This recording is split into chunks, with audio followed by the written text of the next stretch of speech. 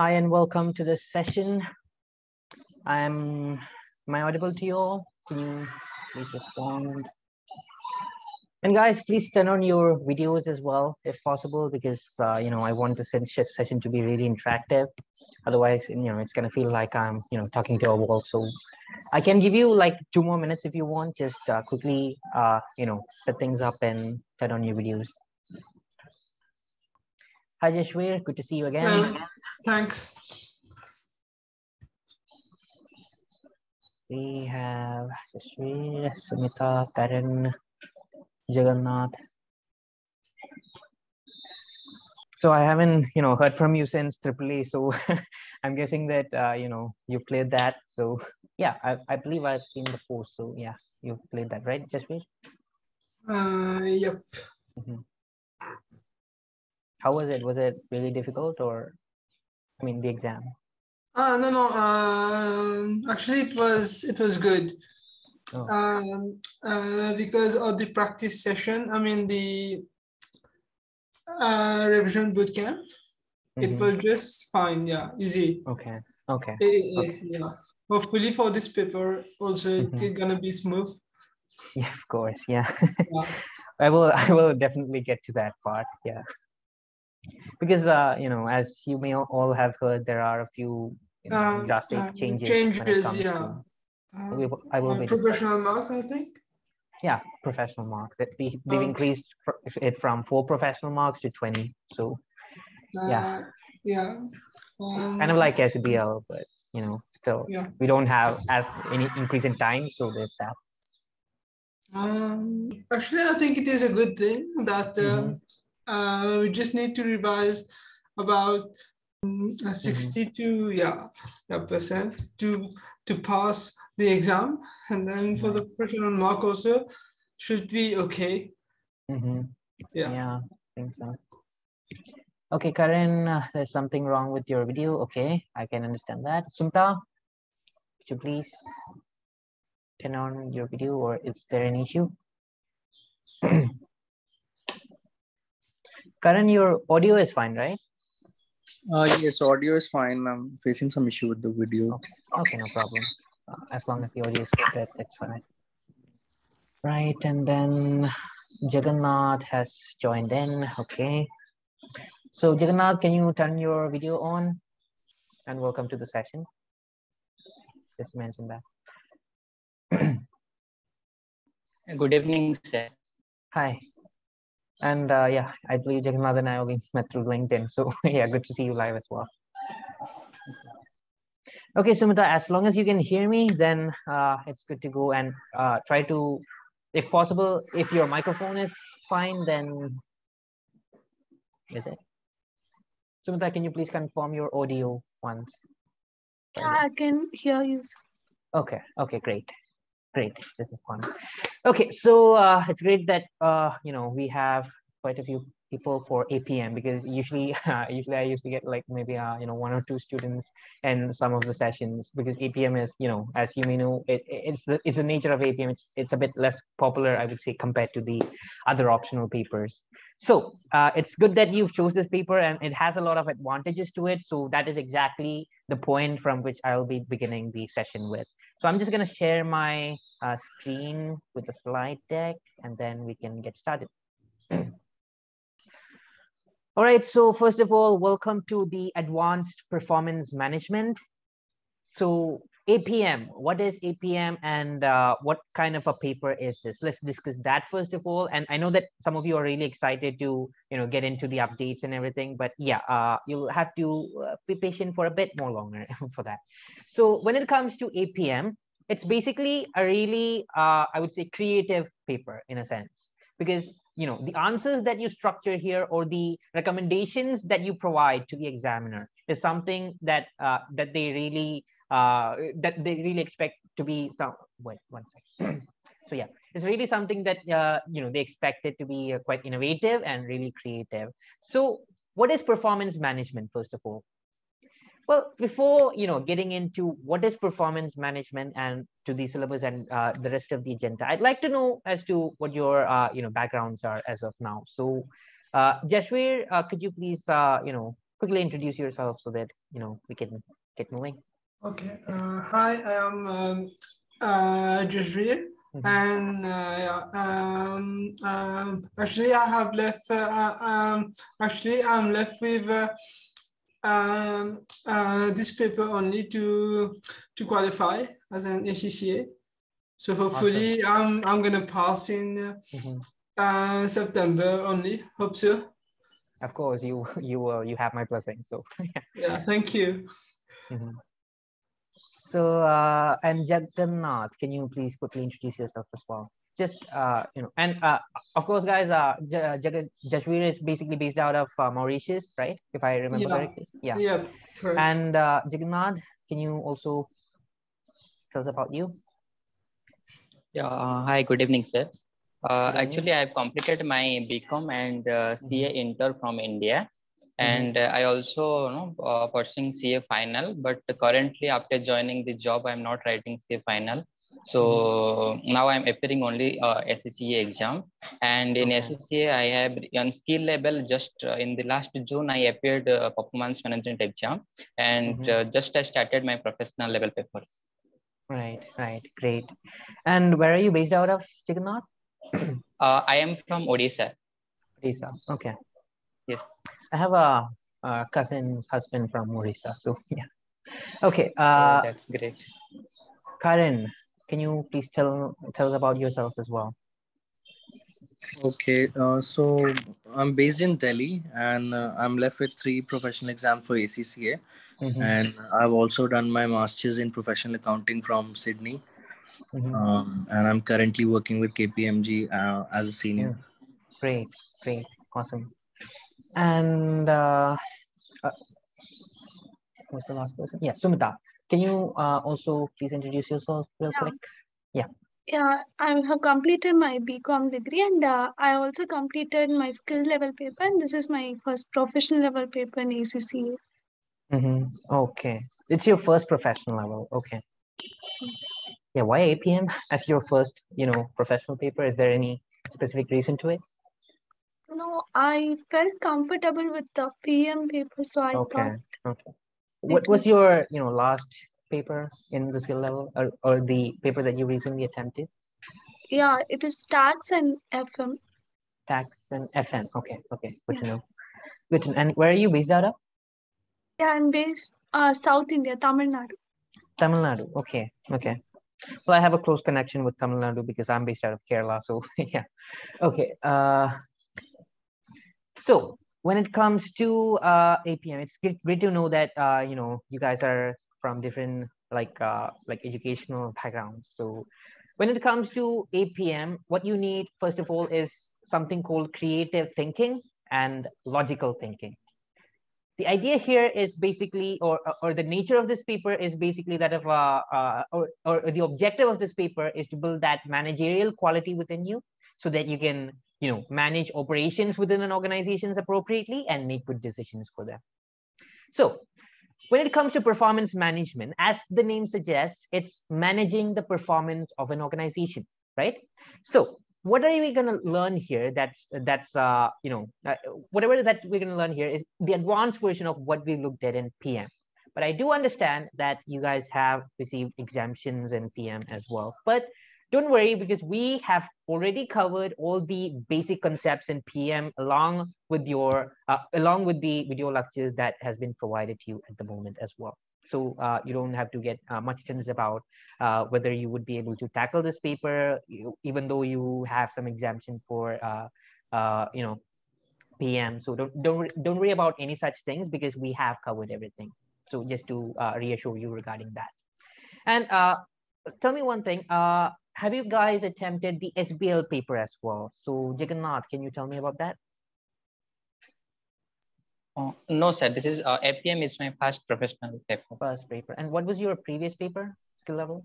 Uh, that is the uh, Oh, PM this is paper. First. pa- Oh, okay. Okay. Yes. PM after PM. That's great. All right. Uh, I remember your situation. Yeah. That's why you uh, Uh, contacted me, right? Yeah, Okay. Okay. I remember yes, now. yes. Uh, Karan, Karan, what about you?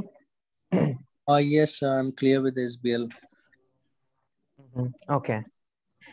Okay, that's good to know as well. So even if you haven't, you know, cleared the SBL, as long as you're attending my course, it's my duty to make sure that you are, uh, you know, you have a strong understanding of these uh, basic concepts as well. So don't worry uh, regarding that. And but you know, just to provide you with the guidance, since uh, you know, this is kind of a generic guidance, it has nothing nothing to do with APM. Uh, since some of you have told me that uh, you guys are like uh, you know attempting your first professional level papers. i would i would highly advise that you uh, also do your epsm module as well as, mm-hmm. as soon as possible. Because that's that's kind of really helpful uh, when preparing for the optional not just apm but for all optional as a professional level exams. So yeah try to it, it only takes maybe it might take like seven days if you uh like you you're allotting a single chapter per day. So yeah just to give you an uh, give you a basic idea regarding that and it's also recommended by ACCA as well, not just GCC, but by all tutors. So yeah.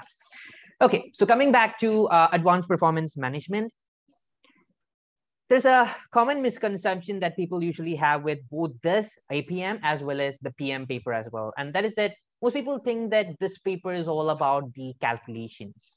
But I would say that it's not just about the calculations, but it's also about the theoretical aspects as well. Because as I stated earlier, APM is all about the logical thinking and uh, all about making good decisions or providing recommendations for your organization. Now, in order for you to do that, or in order for you to uh, provide recommendations on certain numbers or reports, you will have to understand what their numbers are and how those uh, numbers came into being, right? So that is exactly what we will be doing in the APM paper. We'll be learning as to, uh, you know, what various topics are and uh, you know, uh, and, and you will also learn how to provide recommendation based on the knowledge that you've obtained throughout the syllabus in APM. And uh, there might be a few rumors regarding APM as well. Some people say that, you know, this is a paper that you can just easily pass by, you know, just uh, imagining things in the exam itself without even without any preparation. But that's just rumors are just rumors. I can tell you that for this particular aspect, because uh, you know, it, it, it, it does involve a great depth of understanding of concepts especially PM related concepts, which we have covered in the video lectures. And, uh, you know, you will have to, you know, learn things by, uh, I, I wouldn't say by heart, but yeah, you have to understand everything completely in order to tackle any and every question that the examiner throws at you, especially for the September 2022, because when it comes to the September 2022 session or your upcoming exam setting, be it September or December, whatever you prefer, the idea that you have to understand here is that we have professional marks introduced here, which is basically, you know, we have a proportion of 20, uh, sorry, 80 technical marks and 20 professional marks, right? That's basically, it's kind of similar to what we have for SBL as well. But uh, we have the same timing and uh, the approach that you have to adopt here is a bit different from what you what would be expected from you in the in the previous sessions so that's something that you have to uh, definitely keep in mind so uh, that's all about uh, APM. I'm not gonna, you know, bore you with some uh, basic theoretical concepts here. So I'm just gonna move on to the syllabus.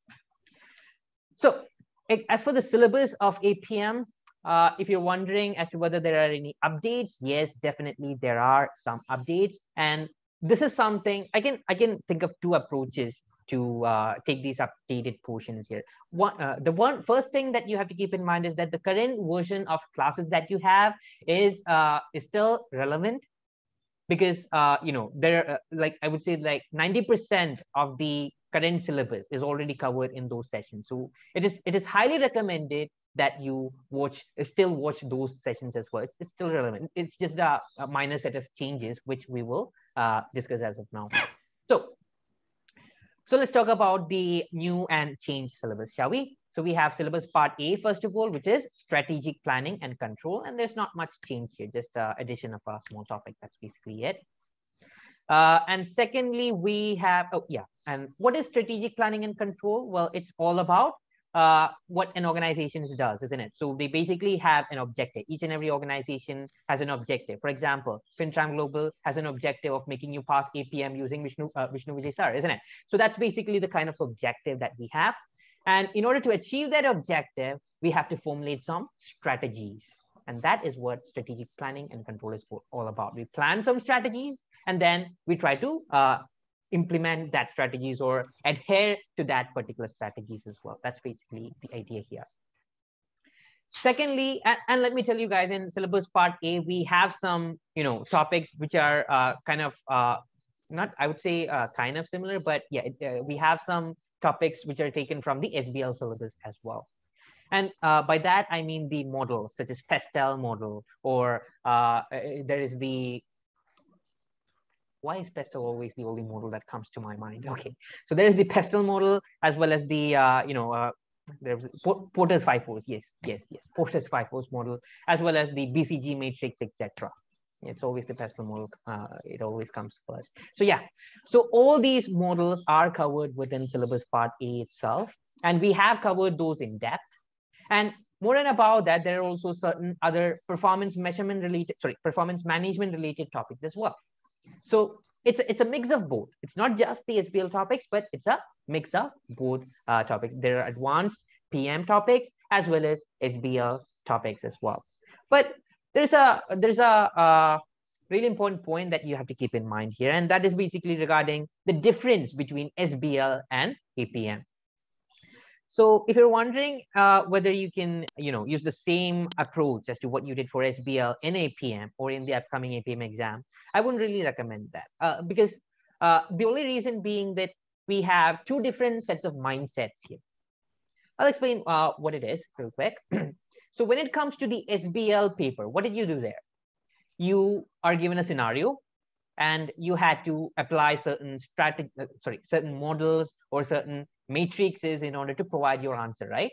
So let's say that you're applying the PEST model. Again, PEST model comes first. So yeah, if you're applying the PEST model in your uh, exam in a particular scenario, then what are you going to say? You're going to say that, uh, you know, as per, if you're considering the political factors, this, this, that, and this has affected the organization or uh, this is the external factors, this is the internal factors, etc. So for pointing out things and explaining things, you would get marks in SBL, right?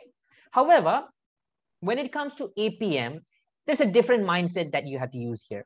The mindset is that how can you use these models or these concepts to improve the performance of an organization? Because our primary focus in APM is the performance of an organization and how we can improve them or what are the uh, inefficiencies in the organization and how can it affect the performance? Uh, does it increase or decrease performance, etc. folks, that's basically what APM is all about. It's all about, uh, it's, it's primarily focused on the performance of the organization and therefore adapting the answering model as to what you used for the SBL paper is ineffective in APM. And we do have uh, a different set of uh, approaches and uh, exam tips and tricks. And these are all covered in the questions that has already been included within the video question marathon.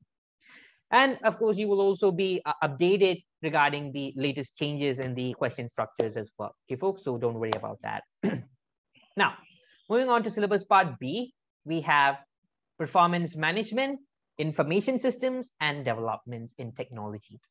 Now, this is a really impor important area as well as a really interesting areas as well. Why do I say that? Well, that's basically because it not only has the uh, a few calculation aspects, I would say, but primarily it's more oriented towards the theoretical area. And this particular theoretical area, I know that, okay, why is theoretical area interesting? You may ask, well, that's basically because we have the latest industrial updates in this particular syllabus area we have big data, we have data analytics, which you may have already covered in various other uh, papers. I know that. However, when it comes to APM, we are also deep diving into it. Okay, folks, we, we're not just learning, and I believe, I, am pretty sure that in uh, various other papers, you've learned as to what big data is and what data analytics is, right? However, now in the updated syllabus, you will also be learning about types of data analytics as well. For example, there is something called uh, predictive analysis or there are some other uh, sorts of it's kind of an, an, another segment of analysis i would say such as voice analytics etc it sounds interesting isn't it? So that's basically the kind of things that uh, that you will be learning in this particular uh, syllabus area.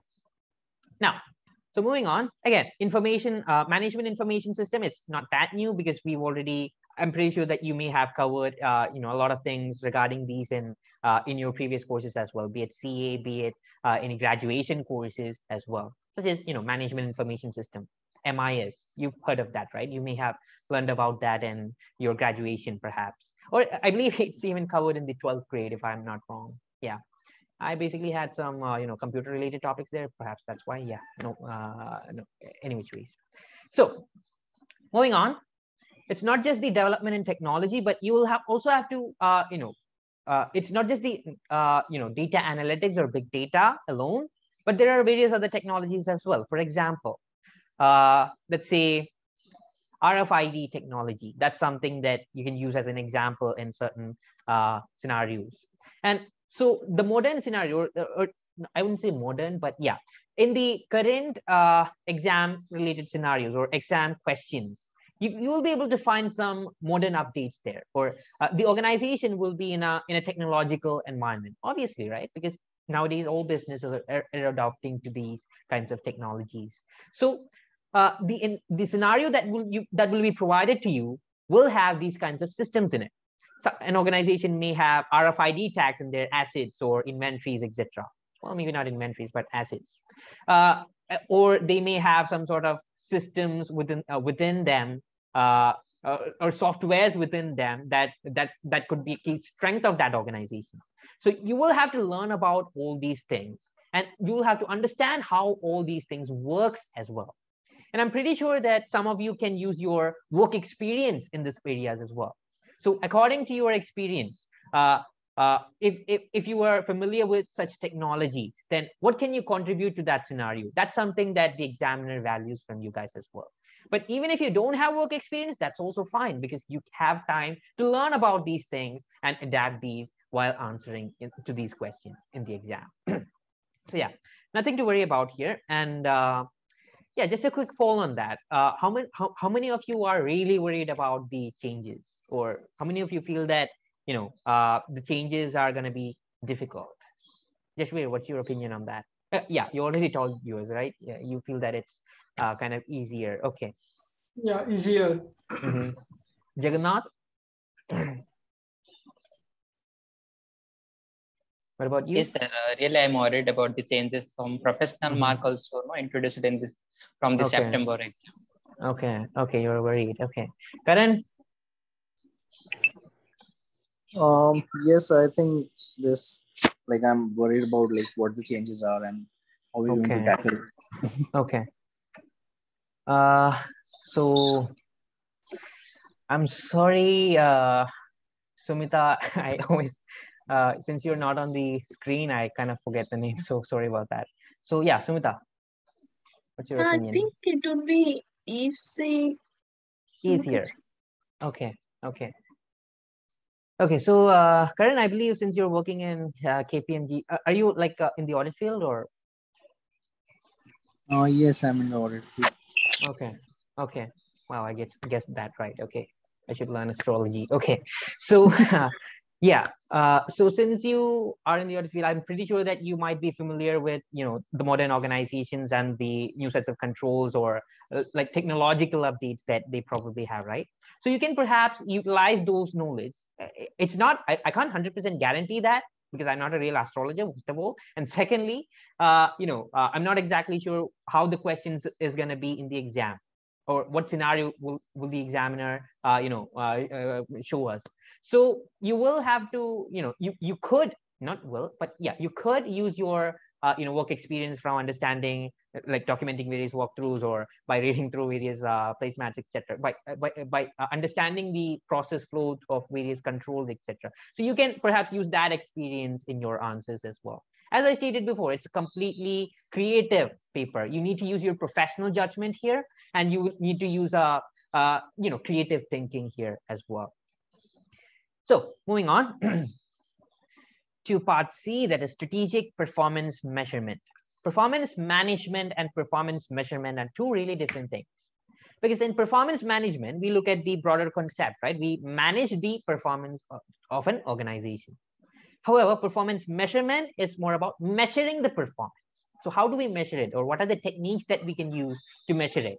So this is a entire, I would say majorly we were focusing on uh, calculation aspects such as calculating the ROI or RI, etc., residual income or uh, you know return on investment, as well as there are various other concepts relating to transfer prices. That's not necessarily performance measurement, but yeah, we still cover that topic here. And of course, uh, we use a lot of uh, models here as well, such as the balanced scorecard. I'm pretty sure you're you're all familiar with that balanced scorecard approach, as well as uh, you know uh, what what was it? Yeah, Fitzgerald and Moon's building block model, as well as there's a new concept known as the performance pyramid as well. If you uh, haven't you know learned that from uh, any other courses, I'm pretty sure that it's covered in uh, the CA final topics or so. Yeah, not sure, but yeah, okay. so these kinds of uh, topics are covered here and there are certain other uh, sets of topics as well so keep an eye out for that and finally we have part b that is performance evaluation so guys a really important update that i'd like to provide you is that in the earlier sessions uh, uh the, this particular part d used to be performance evaluation and corporate failure but as per the new update, corporate failure is no longer applicable to any of the exam sessions. So you don't necessarily have to learn, uh, you know, much about that. But uh, you know, there are there are two sides of a coin, right? So you can either view it as a positive way or a negative way. But I would say, as of now, corporate uh, failure has been included in the videos, uh, video lectures that has been provided to you. So you can watch them just to understand what these are. Maybe if you are interested in it, and it was kind of a really interesting and easy topic. I can tell you that much. So if you want, you can take a look at that. But yeah, that it's not necessarily relevant to your exam. Just to uh, you know point that out. Moving on to part E. Now, part E is basically the new update that is the professional skills, and we will be discussing about these uh, in a brief manner shortly, so that you know you can calm your nervousness. and finally, we have part F that is employability and technology skills. Well, this is something that has been added in the previous, uh, you know, syllabus sessions. I mean, uh, you know, uh, what do you call it? ACCA year or something like that, because they usually update it on September to June, right? So yeah, in the previous, uh, you know, year, uh, ACCA has introduced this particular uh, part into the syllabus areas of all the ACCA subjects. So what is this? Well, this is basically a skill that you need to have. That's all it is. So what is this skill and how can you develop it? Well, it's already embedded within your uh, video question marathon. So you can just, uh, you know, practice those. So that's totally fine. And as for the uh, skill part, well, you can only develop the skill by practicing the questions itself. Okay, folks, it's just making use of the spreadsheet and making use of the word processor. That's basically it. You don't have to learn what uh, MS Excel is or what uh, you know uh, Microsoft Word is because you use that in your daily life. There's no need to and uh, no no questions can be tested as uh, you know what is MS Excel or what are the functionalities, etc. It's all about uh, you know how you use it efficiently to provide an answer. That's basically all it is. so that's basically all about the syllabus. Now moving on to the uh, exam structure. I hope that's the case. No, okay, syllabus update. Sorry about that. Uh, so yeah, let's discuss the syllabus updates uh, here quickly. So what all things has been added? I've already talked about the thing has that, that has been removed, which is corporate failure, which I personally, uh, you know, like that particular topic as well. So yeah, let's take a look. and I can tell you that that was kind of like an easy mark in the APM syllabus. So yeah, we don't have that anymore. So uh, we have risk and uncertainty on strategic planning uh, and control. So I'll tell you what what's happening here. So what they've done is we used to have a separate syllabus area for risk and uncertainty. And risk and uncertainty is basically something that you might be familiar of. I, I'm pretty sure that you're familiar of the risk-seeking approach or risk-averse approach, the kinds of preferences, right? This is risk neutral, etc. So these kinds of things, as well as uh, maximin, maximax, and minimax regret rule. So these kinds of things were included within the syllabus uh, separately in the previous sessions. But now what they've done is they've shifted it uh, from a separate syllabus area and included it within the syllabus part A. That's basically all that they've done here. So we've already, uh, or like I would say, uh, you know, uh, to put it very simply, I have already included that within your video lectures. So you can, uh, it's still relevant there. I've shown it as a separate syllabus area, but you know, the content is still the same. and I'll let you know if there are any other updates uh, in, in future sessions as well.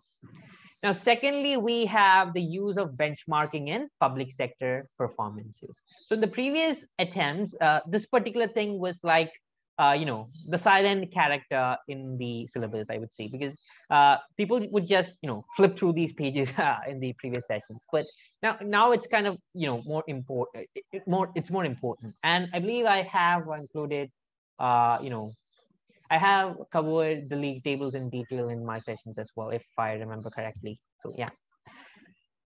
But the problem is that the benchmarking aspects. Well, benchmarking is all, was already there in the syllabus, and we have learned about it. We will learn about its uh, advantages, disadvantages, etc. It's just that we need to focus a bit more on the league tables aspect. League tables are basically using benchmarking for public sector organizations. That's basically all it is. so what else do we have? Yeah, this is a really new and quite an interesting area as well. The issue of data silos and the problem they present for future accounting functions. Sounds kind of scary, isn't it? However, it's it's just a even if you google it you'll get scared so i, I would uh, rather suggest not to do that because we will be uh, you know discussing especially this particular uh, topic is something that i really like to discuss on a live session as well so i would say from here on out just uh, you know be really attentive uh, in the live sessions as well. And let me let me tell you guys uh, live sessions are basically where we cover these kinds of updates especially for professional level papers. So uh, I, I would require you all to mandatorily attend each and every live sessions. And the problem is that uh, you know we don't record uh, we don't provide recordings to students uh, you know uh, for these live sessions. So i would highly highly uh, you know encourage you all to participate it live. And it's kind of fun you know doing things on a live session right? Rather than just watching me you know dance all all around in the video lectures. So yeah. Okay moving on. So moving on to the next aspect that is different methods of data analytics. As I mentioned earlier, we're gonna deep dive into the concept of data analytics now, because in the prior years, we were like, you know, a bit, uh, you know, it, it was like uh, we, we were not familiar with the concepts yet, or we don't know how to use the uh, use the tools in data analytics efficiently and effectively to work through various processes, etc. But now that's not the case because we've done more research and we are using data analytics in various other areas uh, in our uh, in our working environment as well. So that's basically why they've included these kinds of topics. Moving on, to another aspect that is alternative methods of data analytics like text analysis, uh, image or video or voice analytics. I'll give you an example for this one. It's nothing scary here. It's just that uh, you guys perhaps have, uh, you know, search something on Google, right? Obviously, we, we've already done that. We're not, you know, uh, born in the, uh, you know, uh, what do you say, in the 1800s or anything. So we have obviously searched something. So nowadays, we can also search things based on the images or videos or screenshots as well, right? Or through voice as well. I believe that, uh, one second. Okay, so as I was saying, uh, alternative methods of data analytics is basically nothing but, uh, you know, kind of like the way in which we search the images or voice uh, we search uh, you know we do a google search using some voice right maybe not all of all of us are have done that but it's still uh, something that uh, you know uh, that's really crucial, especially for uh, you know searching various things. For me personally, I, I I kind of you know search some images for high res for high resolution images. So yeah, there's things like that. Now moving on, we will of course be discussing more in detail in that as well. And another thing is uh, there's something known as ethical issues relating to information collection and processing. We are going to learn something called the black box algorithms and large scale data collection and mining. Sounds interesting yet again, isn't it? So that's basically the uh, set of updates that we have for APM syllabus wise. And we may not have covered, uh, you know, some of these within the current video lectures that has been provided to you. But as I've stated earlier, we will be discussing these in the live session and we will also be discussing uh, it, we will also be providing you with some recordings as well for some of these uh, for most of these videos so uh, at the end of the day or at the uh, you know time when you will have to attend your exam we would have covered 100% of the syllabus so you don't have to worry about that so am i clear here or do you have any questions Karan, how do you feel now? Are you still scared or? Um, no, I think as long as we're covering these sessions was fine. Mm-hmm. Okay. Okay. Sumita? Yeah, I feel it is easy. Okay. Okay. I just wanted to confirm. I mean, and uh, you know another reason why I make it interactive is because you know uh, initially we you know didn't used to make our students come on video, but the problem was that I once took a session for 30 minutes and uh, the internet was down, so I didn't even realize the fact. So that's that's why I, I keep on uh, you know uh, I mean you know asking you to come on video as well. So yeah. Sorry, moving on. So let's take a look at the exam structure and how it has changed, shall we? So there's no change in the timing. There's no increase, which ideally you would expect that, but sadly there isn't. So uh, it's still a three hour and 15 minutes exam. And you have two sections here, section A and section B. The only difference is that in section A, you will have one 50 mark case study question, but the mark allocation is a bit different. That's basically it. So the amount of technical marks that you have here is 40 marks and the rest of the 10 marks are professional marks. Okay, folks? And in earlier sessions, I believe you uh, remember these four other papers as well. For the four professional marks, what we used to do was we provide the format of a report or a briefing note, etc. Right? We just provide the uh, format and then introduction and then structural answers, conclusion. Right? So that's how we scored, uh, I believe, four marks in the exam. But the thing is, in the current exam structure, this particular thing, out of the out of the ten marks, around three to four marks, I would say, yeah, almost three to four marks are available uh, for the formatting and related aspects. Okay, folks. And the rest of the marks, that's basically it, not, not five or uh, six like you would expect. The rest of the marks are for your explanations. So it's all about how good you can explain things in the exam now. So that's something that you have to keep in mind. Now, moving on to uh, section B, we have yet again two 25 mark questions. There is no change in that. But for each 25 mark questions, 20 marks will be technical marks and the other five marks will be professional marks as well.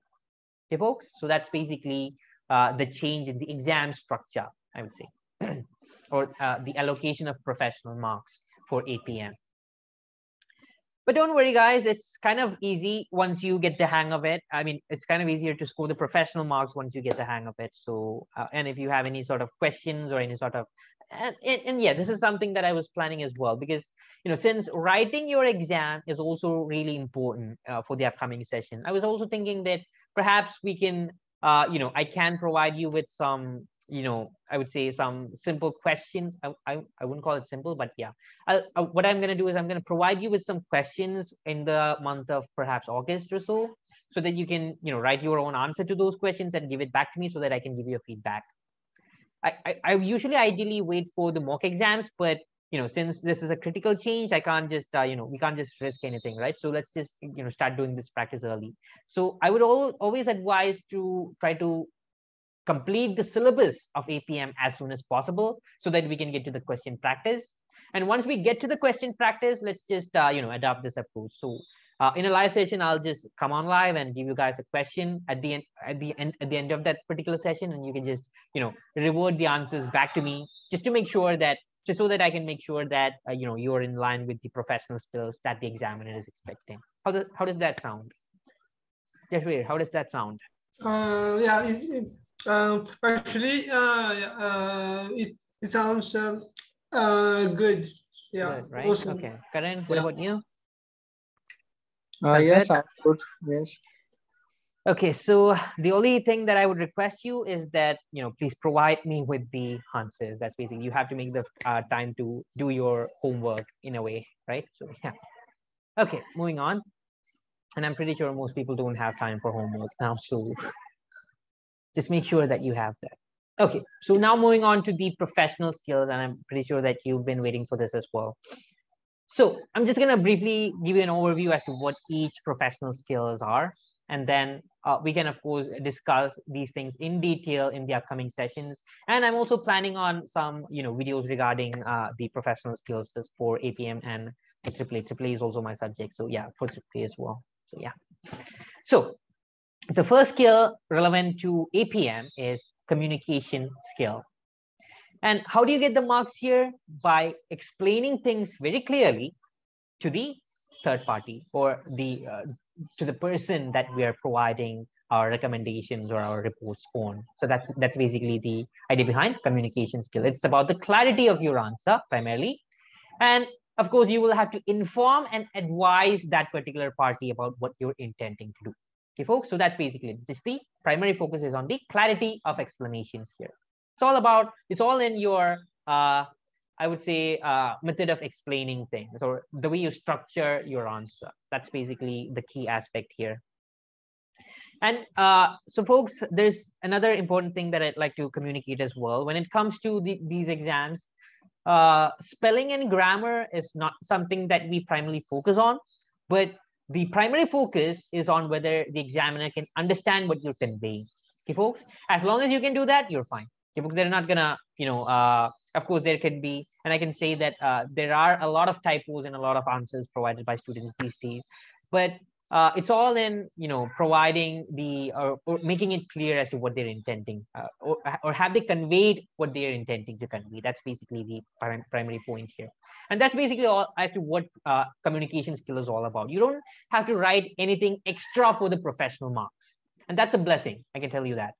So the technical marks you just have to write for the technical marks. However you just have to phrase it or structure it in such a way that you're uh, scoring the professional marks. That's basically the idea here. You don't have to write anything extra other than, of course, the introduction, conclusions, etc. Okay, folks? So yeah, moving on to the next aspect, and this is kind of obvious, analysis and evaluation skill. Of course, you will be, uh, you know, asked to evaluate uh, performance dashboards. Uh, don't uh, don't get too uh, you know scared regarding that. Performance dashboard is basically some uh, somewhat like a financial statement, just uh, you know, an indicator with some KPIs. That's basically it. so it has maybe the increase in revenue, things like that, and then uh, some non-financial uh, performance indicators as well. So you will have to conduct an analysis on these numbers and provide an evaluation on that. By evaluation, what does it mean exactly? Is it positive or negative? What do you guys think? Uh, Sumita, what do you think? Is evaluation. What is evaluation? What do they mean by evaluation?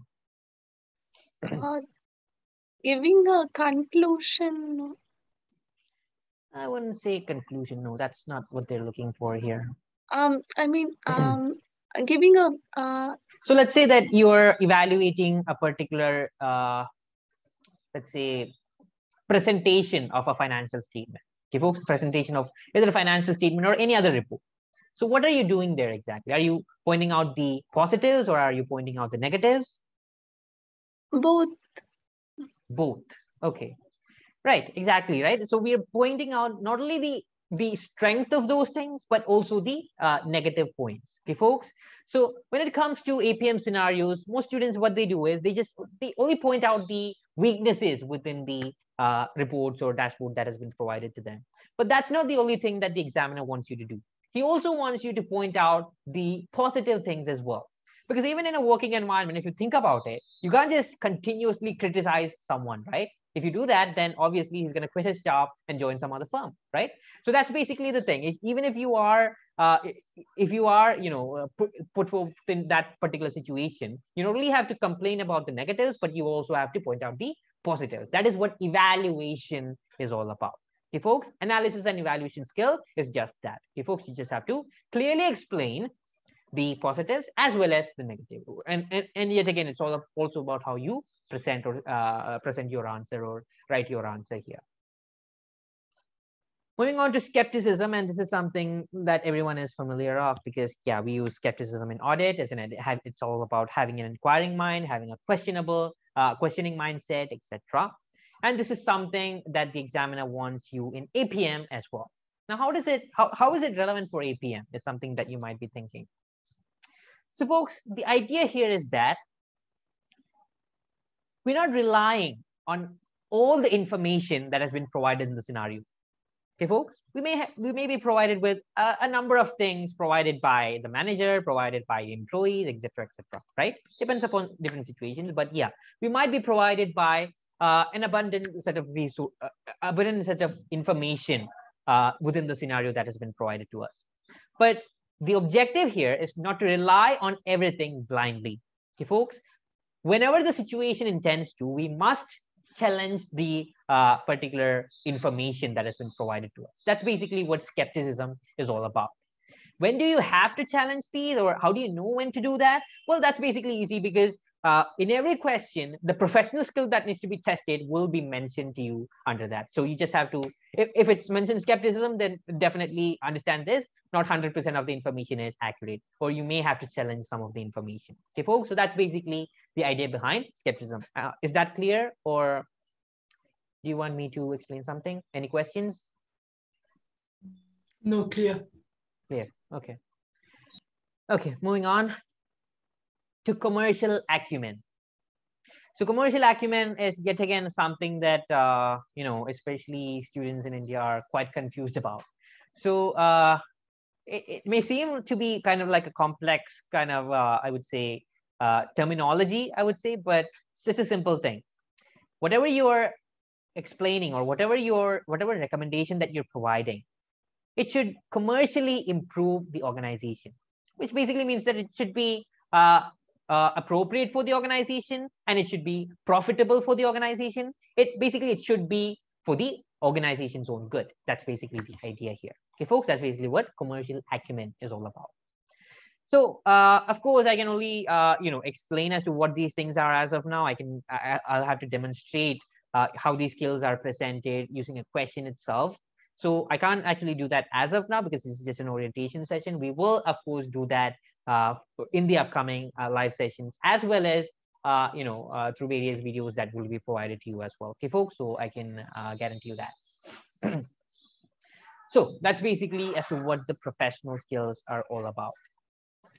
So now moving on to time allocation. Now this is basically a really interesting area by a lot of students because uh, some students don't have a time strategy. Some students used to follow the time strategy that I used to provide them for the previous sessions, but there's a slight change in that. That's basically the only difference here.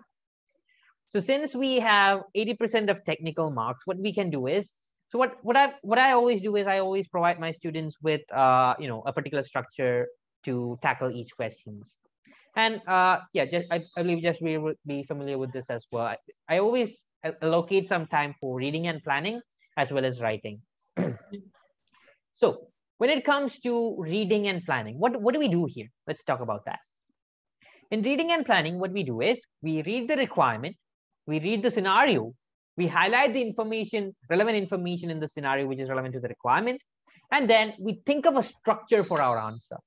Now, this particular thing, thinking of a structure in your of your answer, this is really important when it comes to the APM exam for your upcoming APM exam. Why do I say that? Well, that's basically because you need to score the professional marks, isn't it? So if you can't, you know, convey things properly, then you'll lose out on the professional marks. So I would say I would devote some extra time for reading and planning. To be more specific, for the 50 mark question in section A, I would allocate 25 minutes 20 to 25 minutes i can say that. Because you know each individual is different on their own. Some some may take less time to read and plan some may take more so yeah. So yeah so 20 to 25 minutes to read and plan your answer sorry question and then uh, one hour and five minutes or one hour and 10 minutes if that's what suits you to write or in other words type in your answer. Okay folks that's basically the time allocation that you can adopt for apm and then there is section b for each of the section B questions, you take uh, around 15 minutes to read and plan, or even less if that's possible, and 30 minutes to write your answers. Okay, folks. So if you're not comfortable with this particular time strategy, yet again, you can you know change it depending upon uh, uh your suitability. Okay, folks. It's just that you shouldn't take too uh, any more than uh, like 45 minutes for the 25 mark, as well as uh, an hour and 30 minutes for the section A. Okay, folks, as long as you are uh, confident, and, uh, I, I, mean, as long as you are, uh, you know, uh, strictly following that particular, I would say, uh, limit, then you will be able to attend every questions. Okay, folks. But there's a key thing that you have to understand here as well. The exam is three hours and 15 minutes. And using this particular time allocation strategy, I'm only considering three hours here. Okay, folks. The rest of the time is, the, or the rest of the 15 minutes is basically your buffer time. And what do you do in your buffer time? Well, it's basically the leftover time that you can use to, uh, just think about this okay folks let's say that uh, you are not able to complete a portion of let's say let's say the worst comes to worst and you're not able to complete uh, let's say the last required last uh, i would say a few points for each of the requirement each of the questions in section a and b so you followed the time strategy for one and a half hours due to lack of practice or due to whatever reason. Uh, you were only able to write around 80% of the answer for, uh, uh, let's say, the 50 mark question and 80% for 25 the 25 mark questions as well. If that is the case, after three hours, what you can do is you can use the 15 minutes to think about this. Okay, folks, how can I utilize the 15 minutes to score the maximum marks? That's basically a question that you need to ask yourself in those 15 minutes. And then uh, try to tackle those questions. That's how you can, uh, you know, get, uh, I would say, the maximum score possible in your exam. folks, that's just a worst case scenario. But if you practice well using this time strategy, then, uh, you know, you can completely avoid that scenario. And maybe even you can, you know, perhaps use the 15 minutes to just uh, read through the answers that you've already written as well. Okay, folks, it all depends upon your practice and your abilities as well. So keep on practicing more questions. It's really important. So that's basically all about the time allocation aspect as well.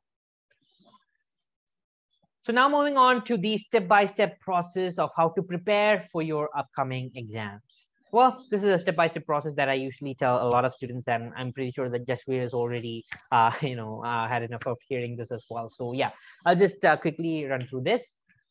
Step one is basically to learn the syllabus, and by the syllabus, I mean 100% of the syllabus. Okay, folks. Secondly, you have to practice, practice, and practice. Okay, folks, practice as many questions as you can. Because in APM, they're not going to test the direct, uh, they're not going to ask you any direct theory questions, or they're not going to test the knowledge that you have or the technical knowledge that you have. Rather, they want you to apply that knowledge in various scenarios. Okay, folks? So that's basically why practice is important. And especially when it comes to APM, you have to practice a variety of questions as you can folks that's something that i would highly recommend because uh, you know unlike the AAA paper or various other papers we don't have a fixed structure of questions that we can uh, you know tackle here. So uh, i would say just practice as many variety of questions as you can and become uh, you know adaptable to any sort of question that the exam examiner throws at you. Okay for that you need as many practice as you can. So practice the uh, don't just you know constrain yourself with the question marathon but you can go over and about that by uh, practicing questions from various exam kits. I would highly recommend using the latest exam kits uh, uh for September 2022 as well. so remember guys, uh, don't don't audit the questions. I would say that that's a terminology that I specifically use for the audit paper, but I like to use it here as well. Do not audit the uh, you know answers. But what what what I mean by that is you're not you don't have to like like, like check as to whether the revision kit has the right answer or not. Don't just read through everything just like that. You have to, uh, you know, type down your answer, uh, type down your own answer, and then compare your answer with what they've provided in the revision kits or uh, what what I have provided in the video lectures. Okay, folks, so that's basically uh, how you should practice. So keep this in mind. Don't just read through everything. That's even though that may seem efficient, but when it comes to the exam, you will have a problem with the time. That's basically the uh, primary risk factor of that. Now, moving on to the next aspect, that is step three, which is basically to do the past paper questions. Okay, folks, and I would do the past paper close to the exam or uh, one or two weeks before the exam, just to just to get a feeler of what the exam questions would be like. And after that, there's a, an incredible resource known as the examiner's reports, which you can uh, you know, use to understand what the examiner's expectations are for the APM subject. I'm not talking about the professional marks here or anything like that because the exam is yet to happen, right? So we don't have any examiner's report for the professional marks here, but you will be able to understand how to score the technical marks, okay, folks? And that is something that I can, I'll have to reassure you regarding as well, okay, folks? In the uh, video question marathon that that I've uh, that you currently have, let me tell you that those questions are still relevant. Why? Because it helps you understand what the technical or how to score the technical marks in the exam. Okay, folks? So you can still watch it. And of course, we will provide you with the, uh, I would say, restructured uh, uh, question marathon as well. So don't worry about that. Oh, and we will be conducting some questions uh, in, in live session as well. But over than about that, I want you to understand that uh, you have to, uh, you know, the, the current questions that we have, even in a, even in an outdated exam kit is still relevant for the exam so that we can score the technical marks, not the professional marks, the technical marks. Okay, folks? So yeah. So yeah, uh, uh, step four was to read the examiner's report and step five is basically to do a mock exam okay folks so just attend a mock exam. You will be we will be conducting a mock exam at FinTram so that i can give you personalized feedback on what are the, your areas of improvement as well. Okay folks? And we will conduct that around the uh, you know uh, around 15th or around that region in the month of August, perhaps, so that you have time for improvement as well. So yeah, just try to uh, attend those mandatory or just send me the uh, mock exams and I can review them appropriately and of course the final step is to just go, go write your exam because once you uh you know uh done all the previous steps you're completely ready to attend your uh, apm exam for the september 2022 section. So that's basically what what uh, what the methodology that you need to uh, follow for preparing for the exam. And this is a step by step process Okay, folks, that's something that uh, I always tell my students as well. So this is just a step-by-step process and you can't miss out on any step in between. Why exactly is that? Because I have a paper board in my hand. Can you see this?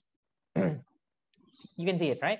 So I have a paper board in my hand. So I'm pretty sure that all of you know how to make this as well. How do you make it? You just fold the paper in a step-by-step -step process and you get the paper board, right? So the, this particular step-by-step process is just like that. You have to follow it step by step. If you miss out on one particular step, will you get the end result? No, not really, right? So that's basically the uh, idea here. So you have to follow each and every step to its core. You can't skip the practice or you can't skip the uh, you know mock exam, etc. So you have to follow it uh, in this way, in this manner, so that you can uh, you know uh, pass the exam with flying colors. So yeah, moving on to another aspect that I wanted to cover in the session. That is, okay, we're almost close to the time, isn't it?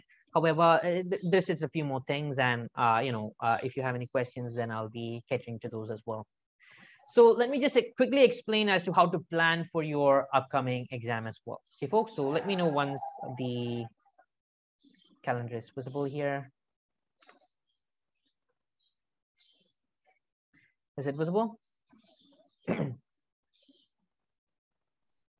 Uh, yes, it is uh, visible. Yes, is visible, right? Okay, great. So folks, as you can see here, we have two months to prepare for our exam, right? So our exam is on 7th of September and we have two months to prepare. And I know that there could be full-time students and there could be working professionals as well. But just to give you an idea, I'm, I'm here to give you an idea as to how to plan for your, uh, you know, plan for these months. That's basically it. So First of all, let's talk about September. So what I'm going to do is I'm going to plan in a backwards manner, or I'm doing the planning, uh, you know, uh, from the objective to what we have to do. Okay, folks, that's basically the idea here. Our objective is to uh, attend the exam on 7th of September. And in order to do that, we already know as to what needs to be done, isn't it? We have to learn the syllabus, practice questions, do the past papers, etc. So what I'm going to do is I'm going to allocate the last few weeks, as I mentioned earlier, to practice the past papers. Okay, folks? So let's say that I'm gonna start practicing my past papers from 25th to 6th. It depends upon the availability of the past paper as well. I'm just giving you an example here. You can change the dates according to your, uh, you know, uh, your ability as well. And from 24th to Monday, if I'm only attempting APM, then all I have to do what is I just have to practice questions, right? I just have to practice the uh, questions from the exam kits or any other resources, um, video question marathon, and of course, revise the entire syllabus as well. Okay, folks, revision of the entire syllabus uh, is a step that is embedded within each and every other step. Okay, folks, because uh, so let's say that I'm just gonna, uh, let's say if I uh, learn the entire syllabus in July and practice all the question in August, then there is a risk that I might forget on uh, forget out on some of the topics uh, in September, right? So in order to avoid this particular aspect, you will have to revise through the entire syllabus on a daily basis in the month of October and uh, August and September itself. Okay, folks, so keep this in mind. so uh, how do you conduct that revision? Well, what you can do is you can either uh, create your own notes while, uh, you know, uh, watching the video lectures, etc., or just prepare uh, refer to my notes as well. That's also fine. You know, each individual has their own method of doing that. And of course, the, if you're also if you're comfortable with watching the revision videos, then that's also fine as well. Okay, folks. So whatever uh, you prefer. So revision is uh, a really essential thing that should be done daily. When the method of doing that is entirely up to you and entirely up to the time that you have as well. For full-time students, what I would recommend is try to do at least four questions per day. That's something that I would highly recommend. And for working professionals, try to do, I would say, either one 50 mark question or 225 mark question per day. That's something that I would, uh, that, that's like the bare minimum, I can tell you that. Okay, folks, that's something that I would recommend. So So what I'm going to do is I'm going to allocate, uh, if I'm, let's say, a full-time student, then I'm just going to allocate uh, this entire month to question practice. And I'm going to take all of July to learn through the syllabus. Okay, folks? So this is just, an just an idea. Okay, folks, I'm just providing you with an idea as to what your plan should be. And of course, you can, you know, change the plan according to your time availability as well as uh, you know various responsibilities that you may have etc okay folks it could be your work it could it, it could be your family etc okay folks? So depending upon that you can create a plan on your own but yeah this is just to give you a brief idea as to what needs to be done or what is the level of things or what what what what, uh, what all things your plan should include. That's basically it. And of course the mock exam will be somewhere in august 15th okay folks i can't give you an exact date as of now but yeah the team will communicate with you regarding that and if it is, let's say, the, at the 15th of August, then I would highly recommend that you try to, you know, finish everything before the mock exam because, uh, you know, if I get a, uh, if I have to provide you with an, an appropriate feedback, then you will have to be fully prepared for the mock exam. So yeah, just pointing that out. So that's all that I wanted to cover for the session. So do you guys have any other questions that you may have? No. Not for the okay, time from being. your side. Okay. Karan, Sumita? Uh, yeah, I have a question. Okay, Sumita, please. Uh, I'm having Kaplan study text and exam kit, which is valid till June to, uh, 2022. Can I use that for September exams? June 22. No, you can't use that. Okay. You will have to have the, you know, the latest version. And I believe that, uh, you know, at FinTram, we have a good deal on the Kaplan materials as well. So you can perhaps check that out. Any other uh, question? Yeah, correct. Yeah, hi. So I'm using BPP uh, study books and also will it mm -hmm. make any difference or uh, like FinTram provides their own material as well? Uh, it, as in, uh, are you asking me as to whether the uh, BPP would be better to Kaplan or? Yes. Well, there's not much difference because honestly, I have, I personally have, uh, you know, used both these. Uh, well, that was an accident from my part as well. I bought both these books, you know, you know, intending that I might be able to practice more questions, but turns out that you know most of the questions are kind of common in both the uh, exam kits. So, uh, okay. yeah, just stick with one uh, I made that mistake and I don't want my students to make that mistake. So yeah. And as for the Kaplan related material, it's basically the video question marathon itself. And as okay. of now, you can, you know, take a look at that. That's totally fine because technical mark is something that you still need to score even if the even if they've introduced professional marks, right? So uh, right. the current questions are still relevant or the content or the answer of the current questions are still relevant. So you can watch that. But in in uh, once you once you're almost done watching that you will be provided with the updated materials as well. Either you will, be provided with that or we will be discussing that uh, in a live session or you will be provided with a recorded video of that as well. Okay folks it depends on uh, how we're planning uh, we, are still working through to get uh, the final product to you uh, to the students so yeah. In which ways by the uh, by the day of the exam you will be fully prepared. That's something that we can guarantee Okay, great. Okay. Okay. Any other um, questions? Hi, sir, one question. Yeah. Okay. Yeah. Uh, actually, uh, I have the latest revision kit of BB. So is it sufficient uh, to prepare for exam the revision kit and your from note, or uh, is it mm -hmm. required to know for text also? Uh, okay, I get your point. So basically, you're asking if, and this is like a really common question that we get as well. So is the uh, you know uh, FinTram uh, material or question medicine as well as the uh, one of the BPP or Kaplan is it enough? Well, the truth of the matter is nothing is ever enough when it comes to question practice you have to you know keep on practicing a lot of questions as many as you can but i can say one thing uh, to pass the apm exam to pass the upcoming apm exam these two are kind of enough from our side at least if you get more questions then you know feel free to practice that uh, but you know the questions within the question marathon as well as the uh, revision kits as well as the uh, you know past paper questions would be uh, sufficient to pass the APM exam. I can give you, uh, I can you know provide you with that much as at, at the moment. And I can tell you guys uh, one more uh, one more thing that I want to say is that in the exam kits there are uh, I would I would primarily focus on the past paper questions rather than the normal questions because the normal questions are a bit or there are questions that are provided by BPP or Kaplan themselves rather than the past paper, right? So these kinds of questions, uh, I, I, try to avoid that because that's like too easy. So uh, perhaps you can avoid those kinds of questions. Just focus on the past paper, uh, or in other words, the amended past paper questions in the revision kits. I hope that answers your question, Jagannath. Any other question? So how do you feel about the updates now? The people who are a bit worried, Jagannath, Karan. And the people who felt TC, you can uh, also. Something that. Yeah, I was asking, uh, you know, uh, whether you are. I'm sorry.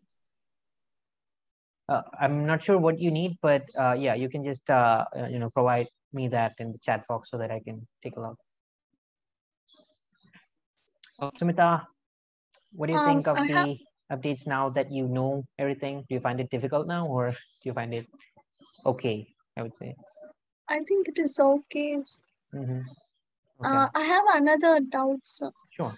Uh, yeah, uh, should I get both the te- study text and exam kit or only exam kit? All right, fine? study text. Okay. So uh, regarding the study texts, I would say avoid that okay folks you don't you don't necessarily need the study text because there's no extra questions there to be honest and even if there are uh, a few questions they, they're like like the simple ones so i'll tell you the objective of the study text here the study text is basically or the questions within the study text is basically so that uh, since you're a beginner when it comes to the apm exam you need to be familiar with things right so they'll give you the easy things first and then you can uh, practice the tough questions in the revision kit and then attend the exam. That's the that's the uh, you know perspective or that's the idea that a Kaplan or BPP may have.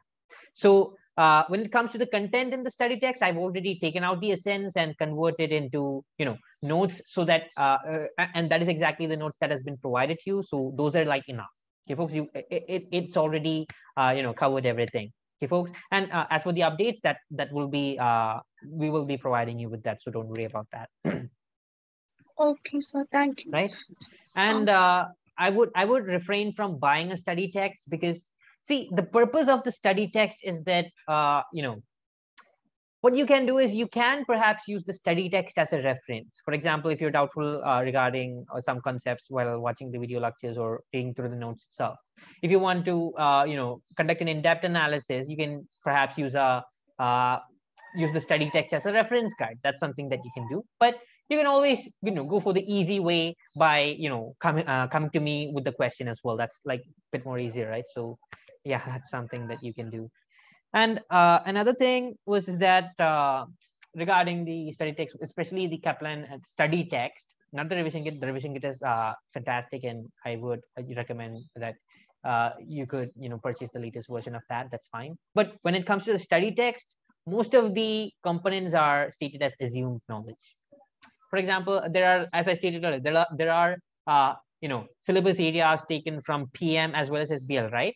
So these sets of topics are like assumed knowledge when it comes to the study text.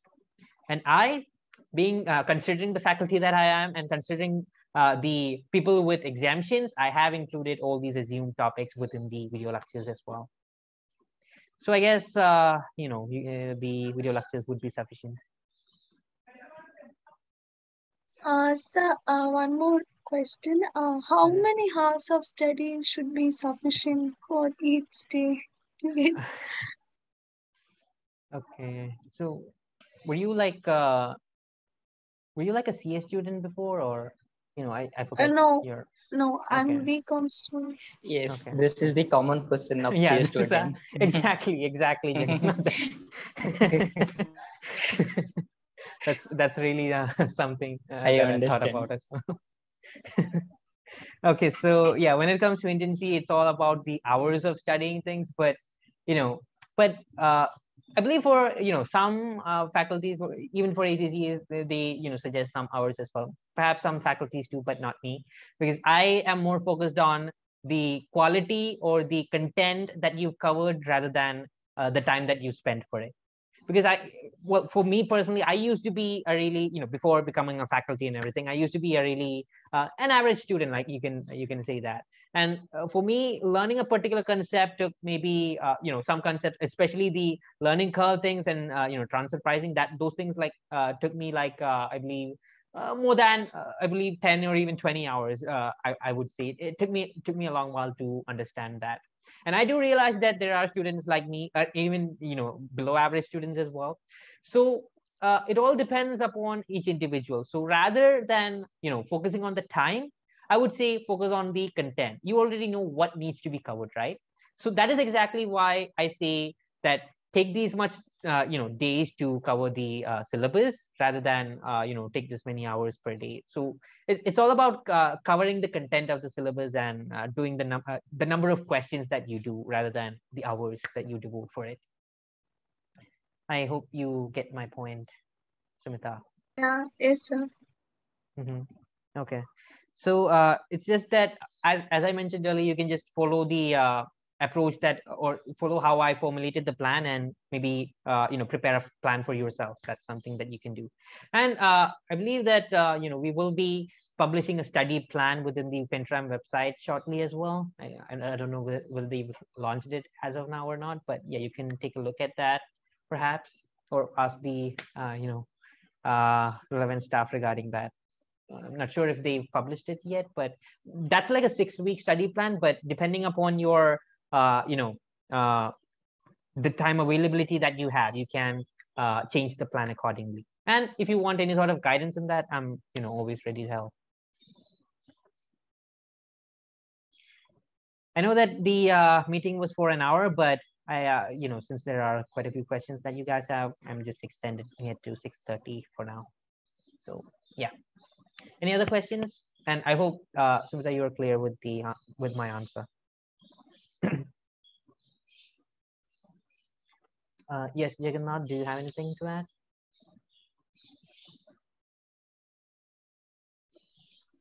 Uh, sir, I have one question. Mhm. Uh, uh, as, of, as of now, I completed the you know sixth session from your video uh, from Mhm. part A.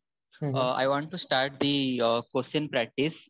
So how uh, how can I find that no this uh, uh, one concept is related to particular questions means uh, Okay, so that's uh, that's an area that I can't help you with because uh, you see, my approach is basically to learn everything and then do the questions. Because see, the quality questions that we have either in the you know past papers or e- either in even in the uh, revision kits are not necessarily related to one particular topic. It's a it's a mix, it's a combination of different topics, right?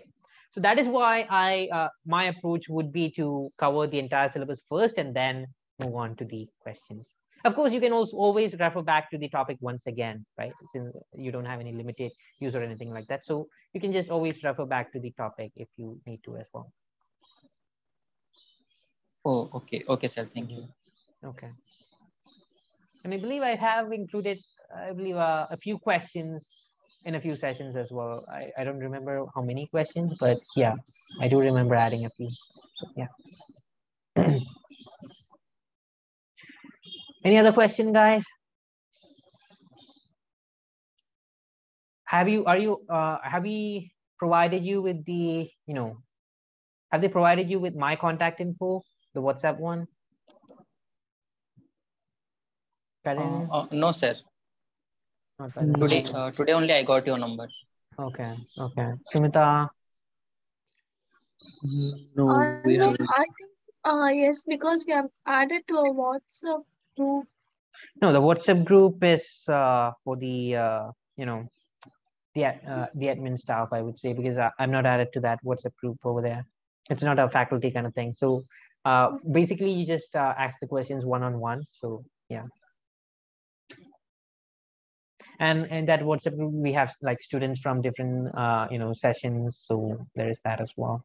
It's it's just to keep track of the you know students for a particular subject. That's basically it.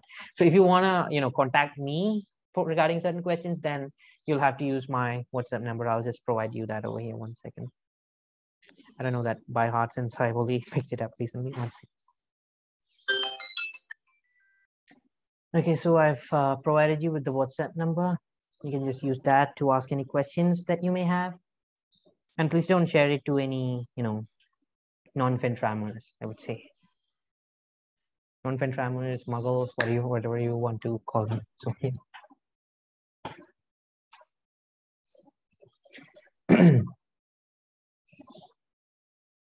right. Anything else, guys? Any questions at all? I can spare maybe five more minutes. So yeah. Okay. Uh, so uh, for the live sessions, do we have live session like every Saturday or is there any schedule or something?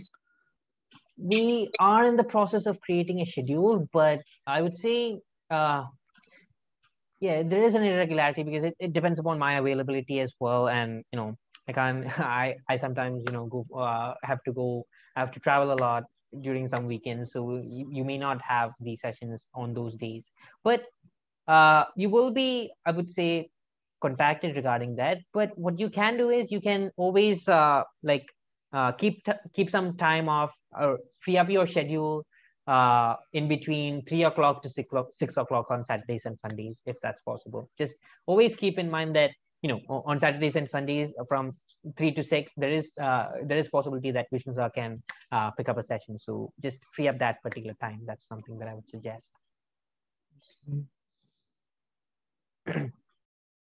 And as I stated earlier, you will have to, you know, mandatorily attend these because, you know, as I stated earlier, the updates would be covered in these sessions as well. Any other questions? Um, so one more doubt regarding Sure. EPSM module. Uh, EPSM, actually, I okay. meant to get my exemptions. Uh, so I'm not able to take up the EPSM module. So will that? Okay. Yeah, then it's fine because, yeah, I'm still covering my session. It's just that, you know, attending the EPSM would give you a better understanding as to what the professional papers are on and the professional skills, etc. That's basically all it is.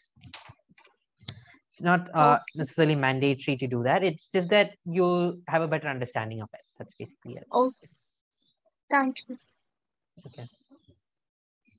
Anything else? Any generic questions about ACCA or anything like that? So if you don't have any questions, since we have like around three more minutes left, so I'd like to ask a question. Uh, since you are all from you know a CA background or uh, may have uh, received ex- exemptions in ACCA, so why choose ACCA? That's something, and that's just one of the questions. And another question would be, you know, uh, how did you come to know of FinTram as well? That's something interesting that I'd like to know as well. So Joshua, you can start off. Actually, um, yeah.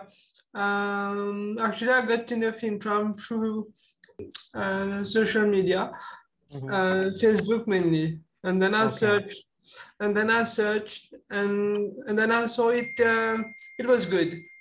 Mhm. Okay. Yeah, Okay. good. Yeah. And so uh, why choose. ACCA?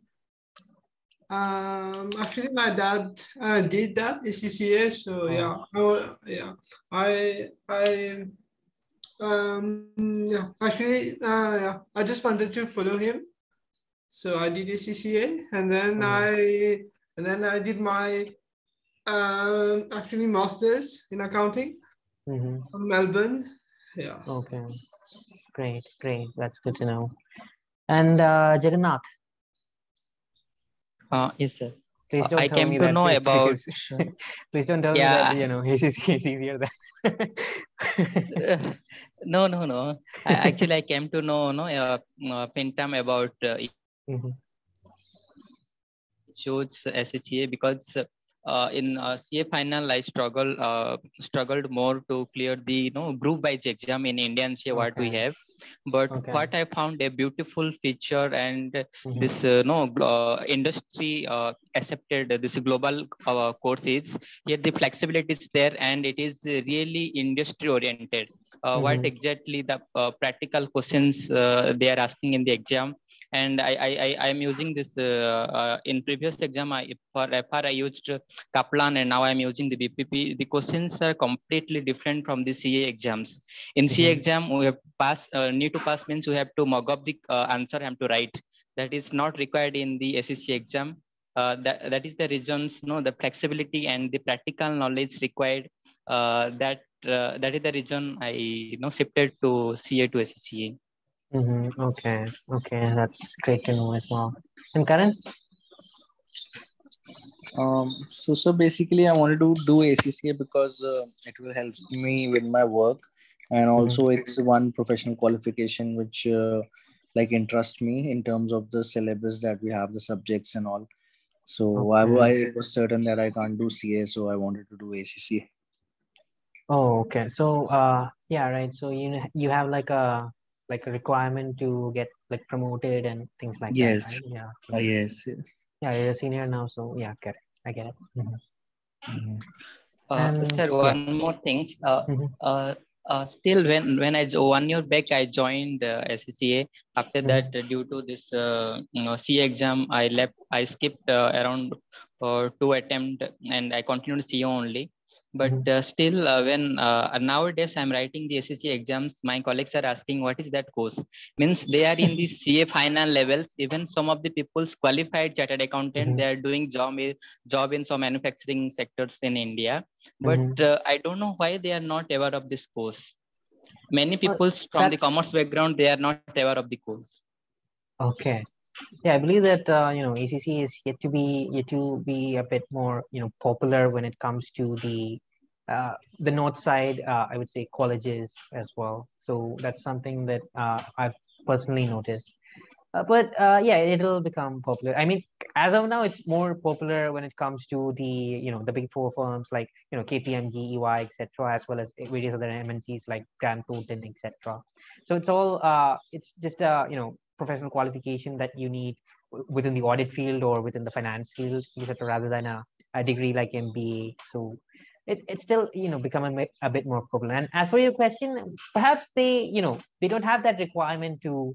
Uh, or they don't they don't know of an option or in their maybe uh, you know professional working experience they, they may not need the uh, ACC qualification or an international at any international qualification uh, you know to do their work because uh, the people that you might uh, you know be uh, you, that you might one second.